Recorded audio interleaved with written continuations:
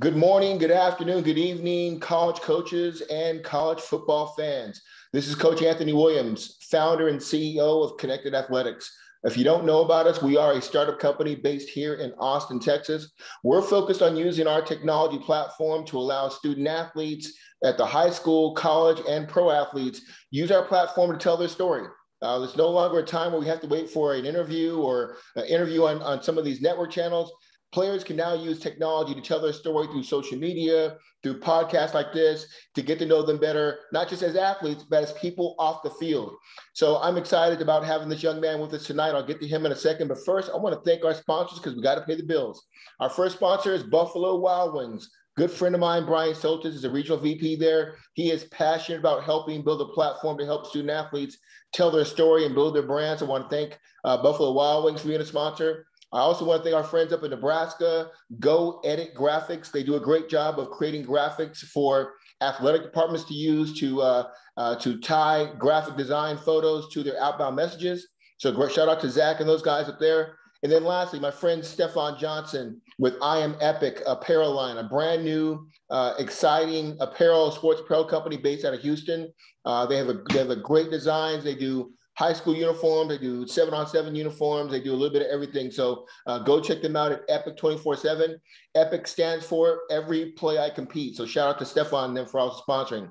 With all that out of the way, if you sense a little excitement in my voice, you know why, because I've known this young man now for about two years. I was introduced to him by Jay Whitehead, my good friend out in College Station. Uh, Nic came to one of our uh, FBU camps and literally put down a great performance in his his path has been up and to the right since then. Let me introduce you to Nic Caraway, class of 22, defensive lineman, linebacker. I like him as a linebacker, but that's just me because I'm a former linebacker myself. He's uh, going to be a senior at Bryan High School, which is just in the College Station area. Ladies and gentlemen, he's 6'3, he's 240. He can run like the wind, he's strong, he can, he can play in coverage. We'll get into that later. He's also a Purdue commit, so he'll be playing his college ball uh, in the Big Ten conference. Uh, I'll, I will probably should let him tell this news, but he was recently named to the NBC Adidas All American game. I'll let him talk about that. And if you want to reach out to Nic uh, online, all you uh, Purdue fans, you can see his Twitter uh, name right there. Nic, I'm excited, man. How you doing this evening?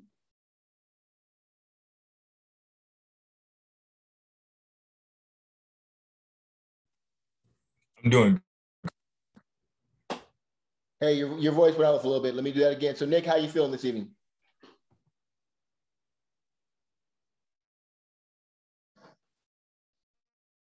Coach. All right. Hey, you're. Uh, I'm gonna I'm gonna pause it here. So, Nic, how are you doing this evening? I'm doing great, Coach. How are you? I'm good, man. So, literally, I, I really want to jump in, Nic. I mean, you're. Everybody has a story. Everybody has a journey, and I wanna I want to share yours tonight, not to just uh, to celebrate what you've done over the last 18 months and how you rebuilt your body and completely took your recruiting up into the right, but to also help those underclassmen behind you at Bryan High School and all those other young players across the country who are like, man, I want to be like Nic. I want to go to a big time school like Purdue and, and things like that. Let's rewind time back to say this time last year.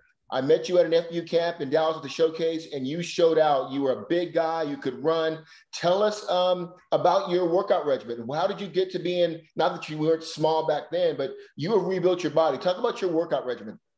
Um, well, this summer I wanted to focus on getting bigger, like because I was I, I, was big in my legs because I always I've always loved working legs. But this year this year I wanted to work on speed and working on getting my arms big. So I pushed it really hard in the weight room. I built a lot of muscle, lost a lot of fat, and I just worked really hard on uh, footwork and speed you know, uh, Nic has, I know it's early and I know this season you're probably playing both ways. You're so talented, but just going forward, Purdue, have they talked about what position you'll play? Are you going to be focused on a DN, a D lineman, or is linebacker in your future at the college level? Well, it's this position called the Leo. It's kind of like a outside linebacker hybrid. You come down on third down. I, I love it. It sounds amazing. Oh, that's perfect. Yes, sir. That's going to be perfect for you because yes, I mean, unlike other, you know, nothing against D linemen, but usually hands on the ground, you know, you're you're taking up gaps, you're keeping uh, offensive linemen off linebackers, but you can do both. I mean, I've seen you, I've coached you at a camp. You move good in space, you can cover man to man, you can drop in zone, you're athletic. I mean, you can run with running backs and tight ends. Uh, tell me, is that going to be part of that role, that Leo role at Purdue? Yes, sir. Yes, oh, sir. man, that's, exciting. Well, let's let's back up a little bit. I know we're gonna get too forward to Purdue. Uh, obviously, if you don't know out there, uh, Purdue is a big time academic and athletic university uh, in the Midwest. Uh, which should tell people about Nic that his grades are on point. Nic, tell these uh, these underclassmen that may be watching this podcast uh, how you attacked and made sure your academics were straight that allowed you to commit to a great university like Purdue. Oh, you got to be on it. You cannot do not procrastinate when you're younger. I had I had a problem like that freshman and sophomore year are very important for your high school high school career. Yeah, and you just got to be on it. You can't you can't fall behind. Yeah, we talk about no days off in the field, no days off in the classroom either, right? Hmm, exactly.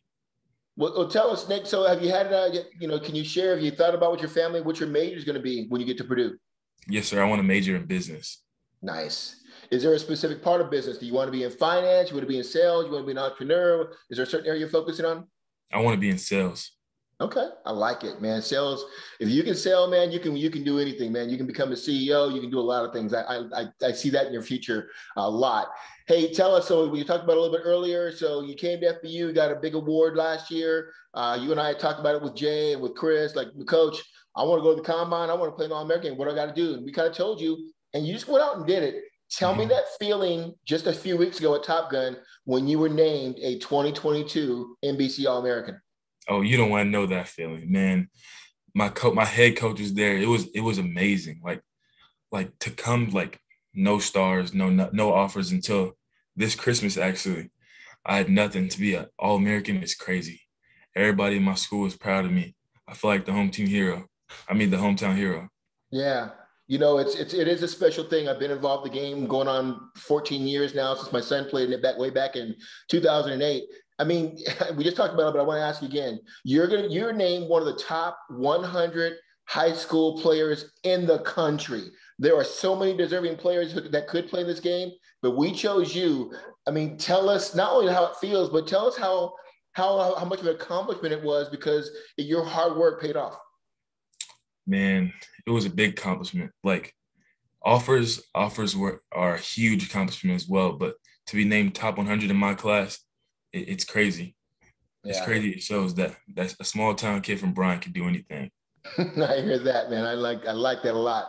Hey, tell me a little bit uh, about you know you came to Top Gun and you already you know committed and everything. I love the fact that you're always out there. You're not, not afraid to go compete. You're always trying to get better. Talk to us about your experience out in Naples uh, a few weeks ago. Oh, it was amazing.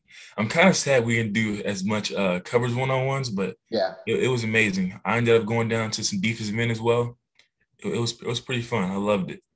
Yeah.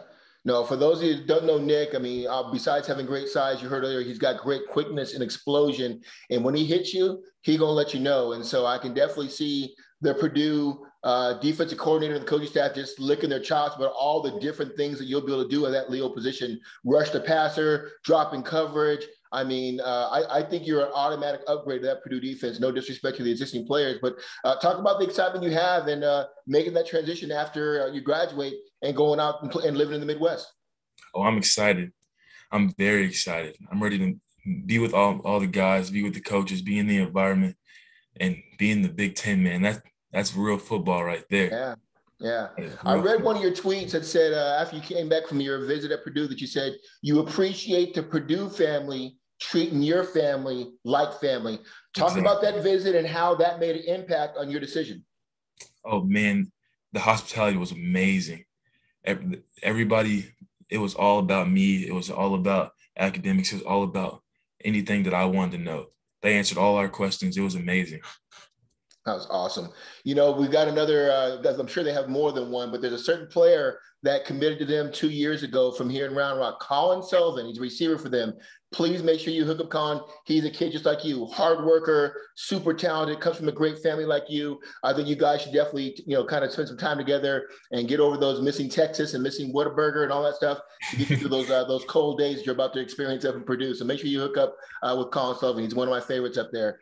Uh, Nic, what kind of advice would you give maybe a freshman or an eighth grader uh, now that you didn't know then that has helped you with your uh, climb in recruiting? Don't don't be ignorant. Just because you're not the number one guy right now doesn't mean it's not gonna happen in the future. Keep your head down and work hard. Yeah, I like that.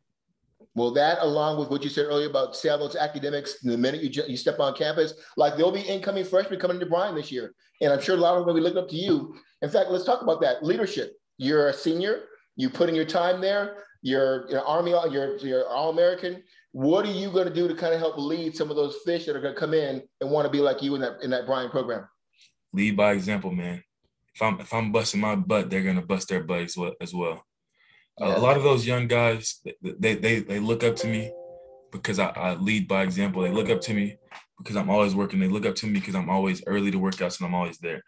Yeah, I like that. So tell me, you know, as you as these uh, as as we get ready for the season here, and I can't wait. I think we're like 31 days away or something like that from the season started here. But uh, sure. what are your goals? I mean, you you kind of accomplished. You got the recruiting done. I'm committed. I'm playing in the best All American game in the country in the world. What are your goals for this season for your senior year?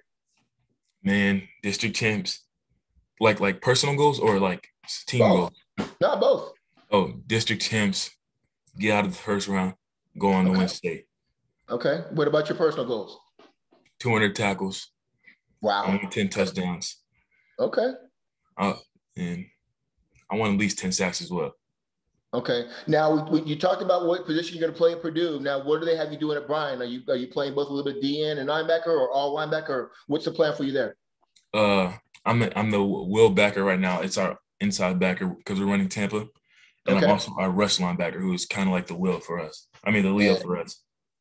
I can only imagine as a former defense coordinator, they're probably going to move you around so teams don't always know where you're at and have you blitz in and being coverage and delay blitzes and rover. I mean, because you can run. Is that is that part of the plan they have at Bryan? Not, to give away any secrets. Yes, sir. I'm going to be moving around a lot. Oh my goodness! I can't wait to go to a Bryan High School game this year. Uh, I know I'll either catch you guys there or here uh, in the more the Austin area, but uh, I'm looking forward to you to you doing that. Let's talk about. Uh, so obviously, you know, you're prepared for college, and your family's doing a great job getting you ready. NIL, name, image, likeness, is blowing up right now. Uh, tell me your early thoughts. I mean, this thing's only like uh, what 27 days old now, but just give us, you know, share your thoughts about NIL and how you plan to to utilize it as you start college man, it, it's an amazing opportunity for all these, uh, everybody, anybody. As right now, I haven't really actually thought about NIL that much. I just been thinking about, you know, going and handling my business and like maybe the NIL will come. Yeah, actually, Nic, that is the best probably mentality to have. Uh, go out and, and, be the best student athlete you can be, uh, have a successful transition to Purdue, and, and, just keep doing what you're doing because it isn't always about what you do in the field or what's on your, your social media timeline. Uh, companies want good people to endorse their products or their services, and I think you're obviously one of them. And so I think you got the right mentality. Just handle your business, and if you're good enough and people see you as an opportunity to push their products, they'll come and find you. And I, I guarantee that will happen. All I ask, Nic, is that you and your family educate yourself on what the do's and don'ts are uh, make sure you have a, a, somebody that's got some law background, a lawyer to look over anything you sign, and make sure you get a, a good CPA because whatever you do make, Uncle Sam's still gonna come and get there. So I'm gonna understand the tax implications of that. Okay. Yes, sir. Hey, uh, as we finish up here, Nic, and I do appreciate your time, man. Uh, you know, one of the things I was most proud of you on is, is just your your the way you carry yourself. For somebody who has had a at a, a, huge rise in last year, you're still very humble talk about how what how you kept from getting big headed and thinking, okay, well, I'm the man, or I don't have to work hard anymore. I got Purdue, and now I'm playing the All American game. What keeps you? Which keeps your grind on fire? What what what motivates you? Man, I, don't want to. I don't want to get past. I don't want to get past. And I'm, and those guys that are ranked higher than me on all those recruiting sites, I'm coming. Just know I'm coming. And it's really it's really my teammates. Those guys humble me every day in practice, man. They're, yeah. they know they're not they're not afraid of me. They're, they're going to go 100 percent every play just like I am.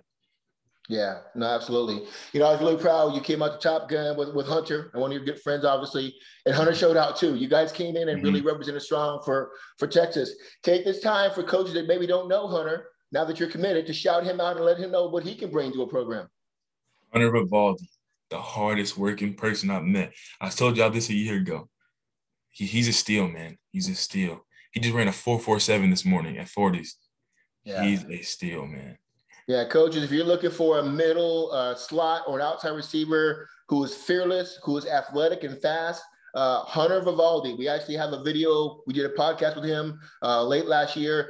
Definitely somebody you need to look at it. Somebody you need when you go watch Nic play. Uh, he'll be that other guy like, well, geez, I came to see Nic. Who's this other kid making plays? Because mm-hmm. Hunter flat out can play. So just uh, shout out to Hunter Vivaldi and, and his dad and uh, and that family. They are they're a great family too. Uh, you know, Nic, you're moving. I mean, I don't. I'm trying to take away what your senior year. Enjoy that because you're only a senior once, but what do you want the Purdue fans to know about you as you come in this time next year as a freshman? Uh, not just you on the field and what you're going to do to help them win games and win a conference, but you as a person. Tell them what do you want them to know about you? I'm going to do as much as I can for the community. Anything, anything the Boilermakers can do, and like like let me know that I can do to help Boilermakers be better. I'm going to do it. Yeah, that's awesome. That is awesome. And so you're not worried about the weather change. You know, it gets a little cold up there. I mean, I'm sure they were uh, honest about that. I mean, are you, you ready to mm-hmm. handle that? I don't know about that just yet. Okay. I'm not a fan of the cold.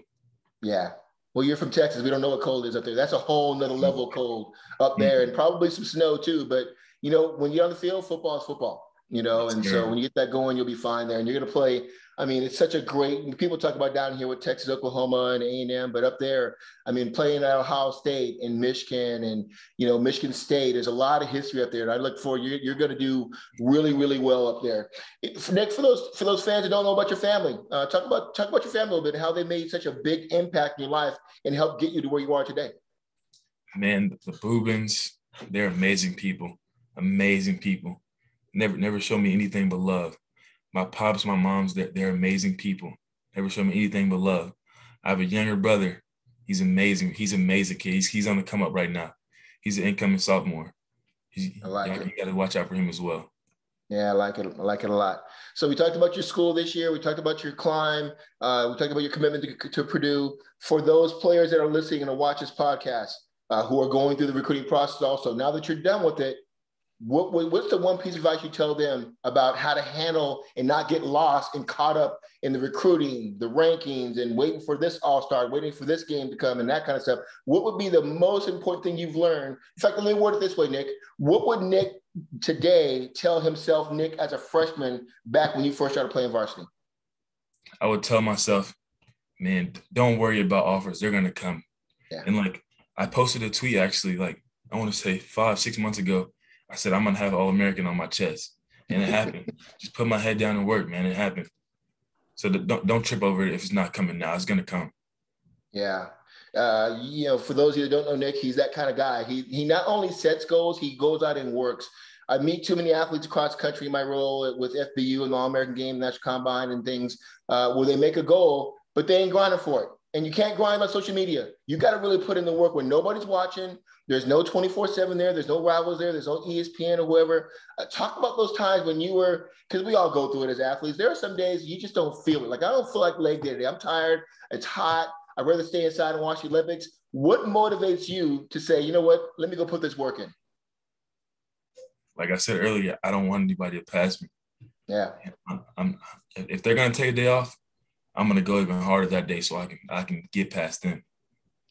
You know, you mentioned a good point about the rankings earlier, Nic. Because I mean, I understand rankings are a big part of it and everything, but I, I, I'm, I'm sure that I can tell you this. I bet you Purdue did not mention where you were ranked at through uh, rivals 24 7 or where they ranked you at. They just saw you as a player that could fit their program. Talk about how, from your experience, how rankings are all about in high school, but in college, those stars, they get erased once you step on a, on a college campus. Talk about that process a little bit.